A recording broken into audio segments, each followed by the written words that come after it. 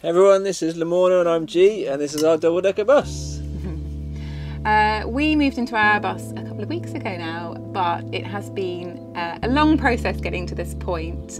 Um, the original estimate um, by the wonderful Gareth here was, Six months. but it's actually taken us just over Two years. two years. When I had this idea of doing a conversion, I was thinking, oh, I can get all the nice cushions and oh, it'll be really fun to paint. And I was thinking about what happens here. And what actually happens is all this first. You know, it was it was months and months and months of getting the bus ready. It just looked like a building site for this amount. And then the last tiny bit, which I was like, oh, that's what I was thinking about when I was doing a conversion, is this bit.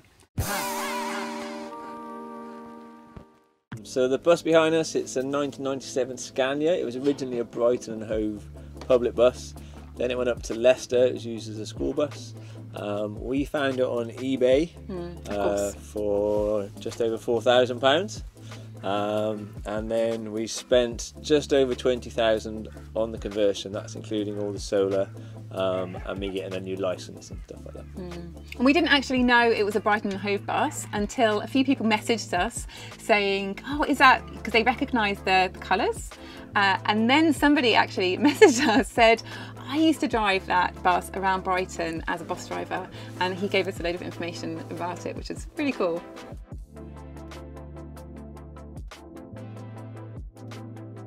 All right, so before we go anywhere, we have to press the doorbell, and the doorbell is this one here. All right, let's go in. Uh, this little secret compartment contains two beautiful roll-out larder sections full of food. We've got a fridge freezer here that runs on 240 uh, and on gas. And one of the things that I didn't want to compromise on was a full-size kitchen um, uh, oven. So we've got a gas oven here. Bins are here. And then as we go through, we've got the kitchen. Now, this up here shows our fresh and our grey water tanks. And then we've got the kitchen. Um, where we have been able to, we have reused, recycled and reclaimed. So the kitchen worktop was just £15. Uh, the fronts of the cabinets were new, unfortunately, but they are made out of recycled plastic. And to give us a little bit of extra space, because we need as much space as we can, we've got a little bit of extra worktop here. So as we go through, we've got uh, a few multifunctional areas. Here we've got a nice seating area, but also this seat can roll out and we've got the table which just flips up on its hinges here. Uh, we've got the beautiful wood burner fire, which is very important to have on those cozy cold evenings. Uh, but we do also have a little diesel heater down here for a little bit of blast of uh, heat when we need it. Now this is our booth um, and this is actually multifunctional in so many different ways. We've got the configuration that you can see right now, but we can also unhook these. The table then slots down here and then we've got some legs and we can fold out all the legs use the extra cushion and make that into sort of like a day bed or seating area or we can just fold out the two inner ones and then we've got a C-shape cozy area. So lots of different options. Uh, should go into the bathroom? All right. So I am now in the shower and this was such an awkward space to try and uh, work with because we have the wheel arches either side and this was the lowest point which is why the shower is in the middle of the room. But we do have these handy um, shower enclosure doors. We have this beautiful sink on this side with the, the hands. This was a fruit bowl Again, no, nothing too expensive here. Um, and then we just made a nice seat and we've got our um, mirror and cupboard here. And then on this side, we've got our composting toilet. Um, nice and simple and great for the environment as well.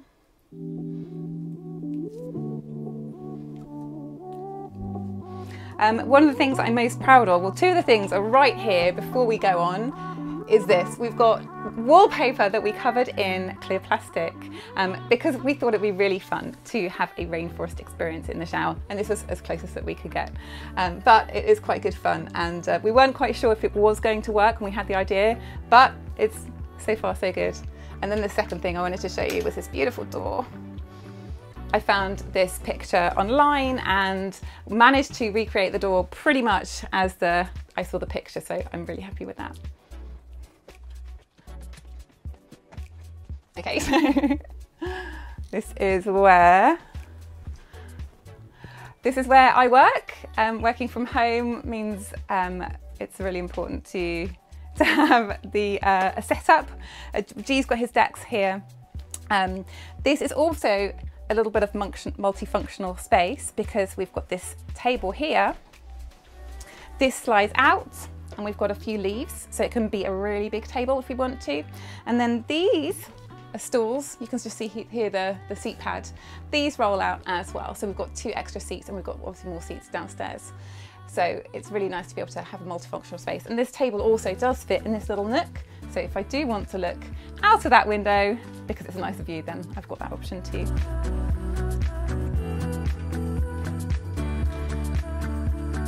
Now this, um, because we've got the upstairs, we've got the office area and we've got the living area behind me, um, we thought it'd be really fun to have a room divider. So this is actually on wheels and this rolls all the way out um, so we can have that at 90 degrees. So we can really separate off the two areas or we can have it nice and open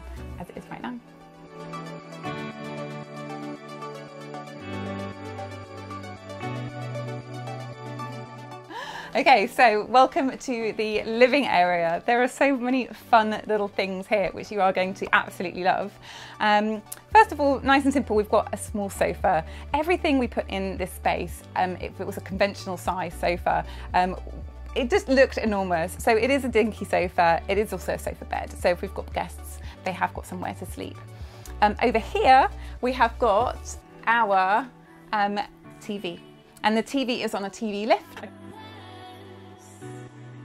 So it does take a few seconds, but um, it's so nice to be able to put the TV away at the end of the day um, and just have a nice cleared space. Also, it's great for when we are on the move, we don't have to worry about the TV falling down anywhere. And we've also got a little sound bar that's hidden behind there as well. We cut some slots out of the wood here so that the sound can come all the way out. Uh, now, we normally get to this point and people are saying, that this is, looks great, Lamorna, but where's the bedroom? And the bedroom is hidden um, by this secret bookcase door, which we are just finishing off at the moment. It's one of the last things that we're finishing off here. And you can see, you get to see the mechanism that's behind it. Um, so we've got cables, we've got pulleys, and the book that is going to be the, the, the way that we open the door, we decided it was going to be The Lion, the Witch and the Wardrobe. There we go.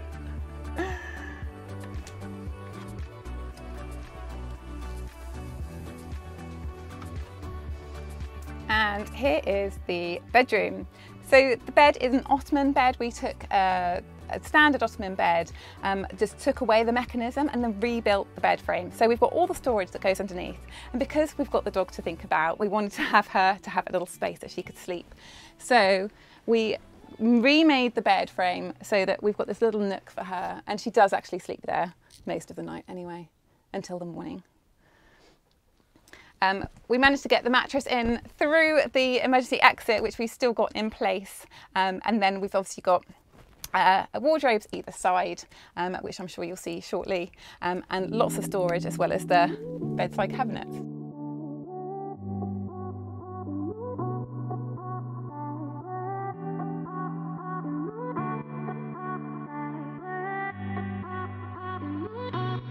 Cool, this is where I'll be spending some of my time when we're driving. Uh, it's a bit of a beast, 11 litre engine. Um, hopefully we don't spend too much on fuel, but we'll see what happens with the prices. Um, but yeah, not looking forward to that. But otherwise, we haven't decided what to do with the area. But right now, just driving down the road. Follow me. So I know Lamorna mentioned before about the tanks. So they actually sit underneath here. We decided, particularly on this model of double decker, uh, it's got more space underneath. You lose a little bit of headroom, but gives the space for the tanks. We've got 250 litres of fresh, and by the side of it, 180 litres of grey uh, for the tanks. So the way we did this booth area, we wanted again it to be multifunctional, as practical as possible. So I'm just going to show you now the different positions you can go into. So this sits on top of there. I'll clear the top.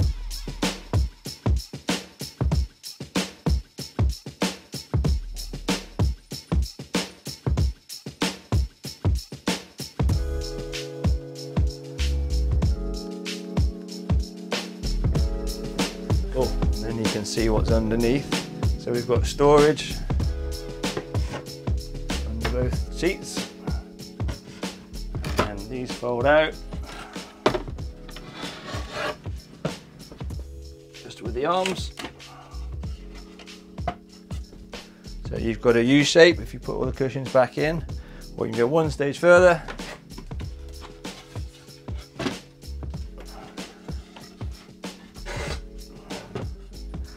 all your cushions back on and you've got a little bed or a snug if it's cold in the winter, you light the fire. So keeping us warm in the winter is a four kilowatt log burner. Uh, we've got a single skin flue up to here and then it changes to a twin skin. Um, for those who don't know, it just alters the distance the combustibles can be away from the flue. Uh, and then behind it, we've got a heat shield. There's a fireproof board with an air gap and then just a copper for the aesthetics on top. Keeps us warm. Uh, if we don't want to light the fire, we've got a diesel heater down here. Uh, it's a five kilowatt diesel heater, really economic um, and just heats up this space quite nicely in a short space of time.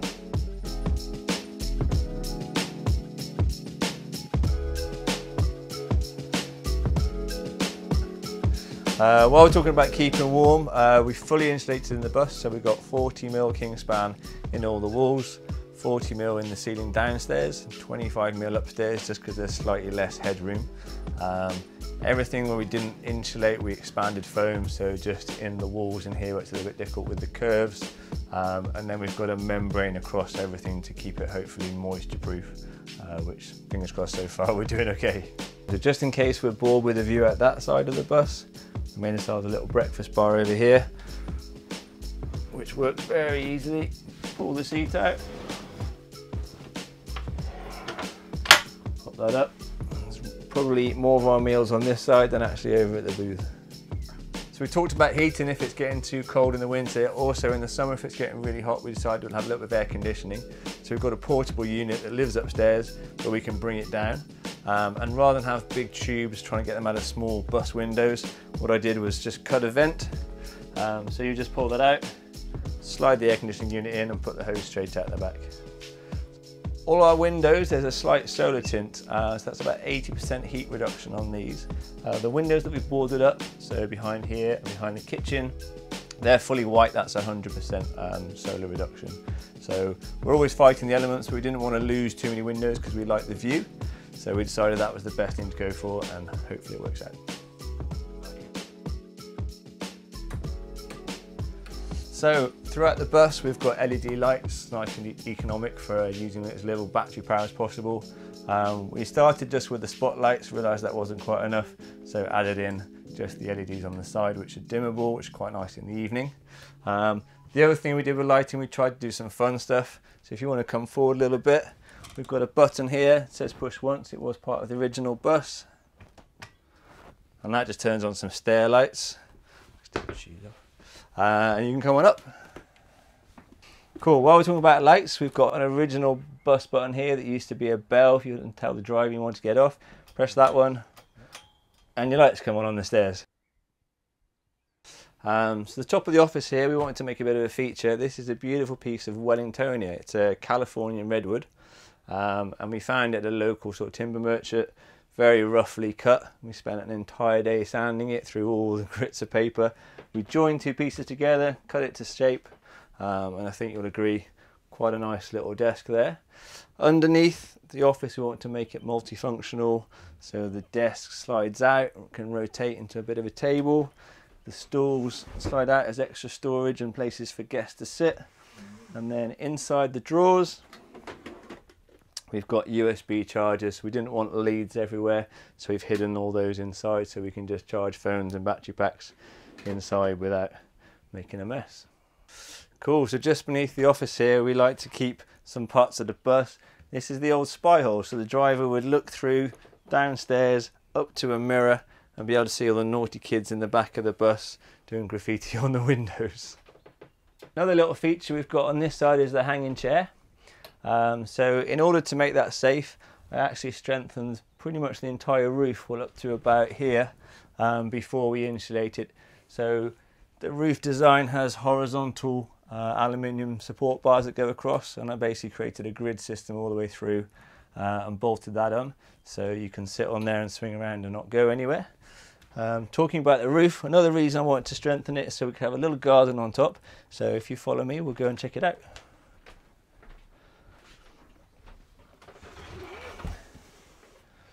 Uh, so up on the roof, we're up at 4.2 metres. Uh, we've got a little bit of astroturf you might just be able to see in front. Just we thought it'd be nice to have a garden up on top, be able to sit and have a beer. I did put some safety rails, some extra ones in as well. So the most important thing to up here is obviously the solar panels. We've got six 330 watt panels, giving us about two and a half kilowatts. Um, you might also notice the chimney up there, obviously that's removable. So when we're driving, we'll just pop that out, put a cap on, and then we can put it back on when we're finished. With the panels, uh, everything goes down to the garage where our sort of systems are. We've got our washing machines and our batteries, and we'll probably pop down there now, and I can talk you a little bit more through how all the power works. Uh, so another thing we decided to have was a garage in the bus and the initial plans we didn't have anything here um, but we're really glad we did. So once you go in you'll see we've got a full size washing machine, we've got our gas tanks, we've got all our solar set up, a boiler and plenty space for toys and stuff like that. Uh, so you hop in and I'll talk you through the setup. We've got a full Victron setup there with two 40, 48 volt lithium batteries. That gives us four and a half kilowatts uh, with a discharge rate of 80%. Um, those batteries are good for 6,000 cycles. That's about 11 years of power that we'll have um, for not much more than lead acid batteries. The difference is buying a 48 volt. Really encourage you guys to research that. And then what we've got is a step down from a 48 volt to 12 volt, which runs all our power um, the 12 volt circuits, the water pump, the diesel heater, the lights in the bus. And then through the inverter, that gives us our 240 uh, ring mains to all our sockets for laptops and TVs and stuff like that. Uh, the boiler, uh, that also runs on the LPG gas tanks which we've got in the garage. Um, it stays on the whole time again through the inverter. Um, it's just a, a regular household uh, boiler but very efficient.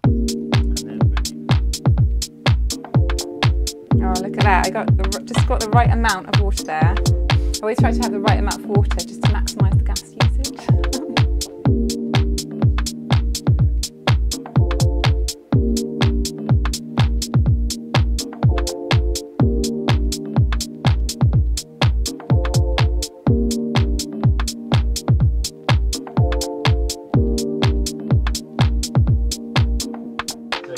enjoyed the tour. Um, we're really excited to get on the road and start bus life. It's not been our first time.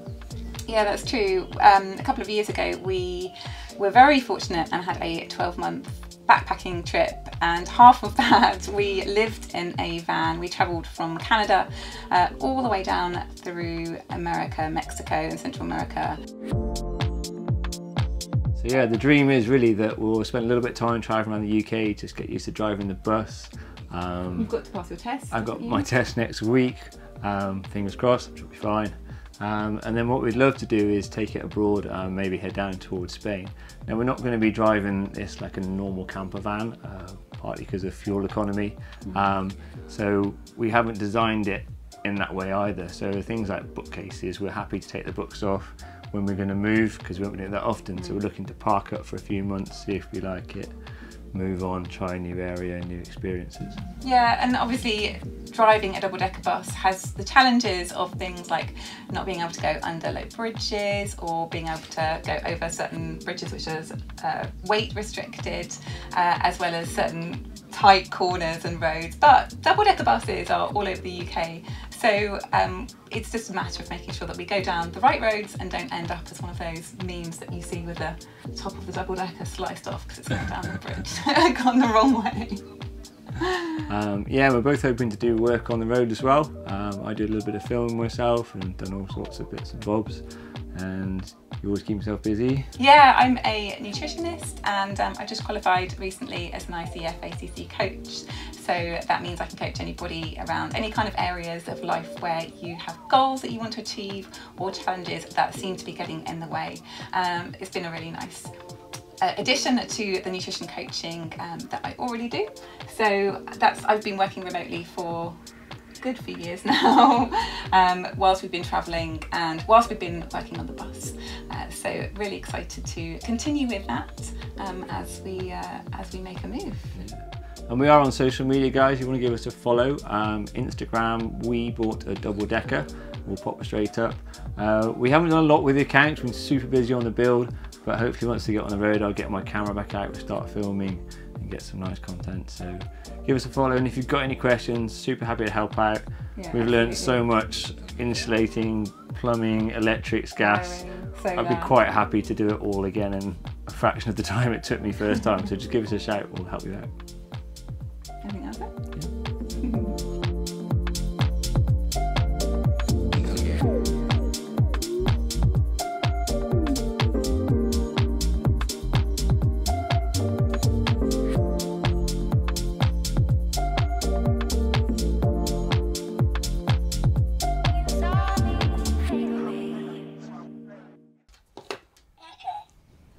Some water. Uh, okay.